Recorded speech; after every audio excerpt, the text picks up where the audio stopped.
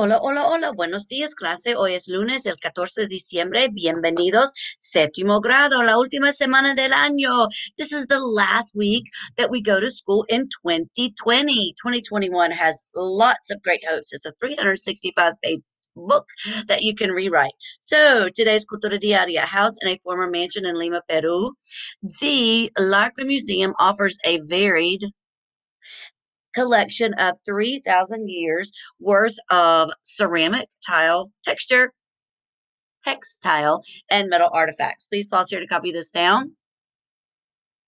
The next thing you're going to do is today's daily discussion. Would you rather? Would you rather eat candy cane for two days or eat fruitcake for two days. Make sure you reply and post your reply here. It won't take you very long. That's how I usually do attendance, and that's how we just get to know each other. After you that, go to assignments.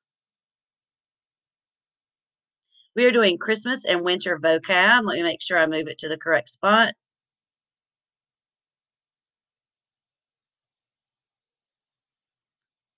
Hang on one second. Let me move this to the correct spot. All right, so let's do Christmas and winter vocab. So you go here.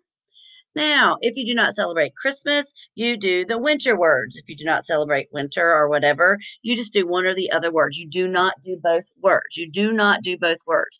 Where do you find these words? Well, you go to SpanishDictionary.com, which I put a link. You don't log in, you don't sign in, you don't sign up. That is not necessary. So you will click here, La Navidad. All right, so here it says Christmas tree or a snowman. I'm going to do both just to show you.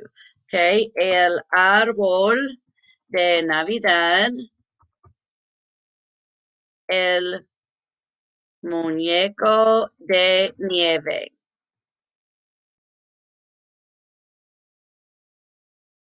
And like put my accent and my tilde.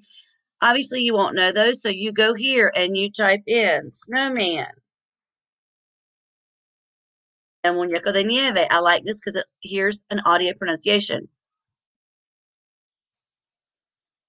And then you hear in English. Okay, these are really this. I like this website because it's not just a dictionary.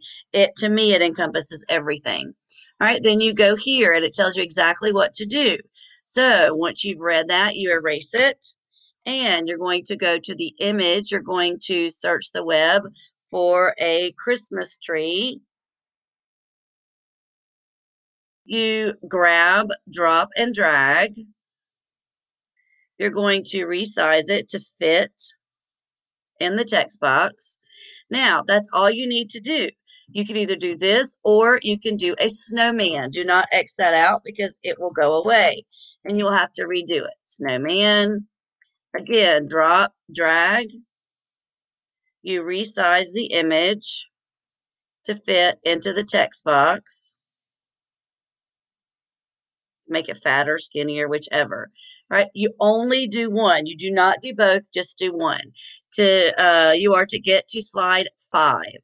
You are to get to slide five. Hasta luego.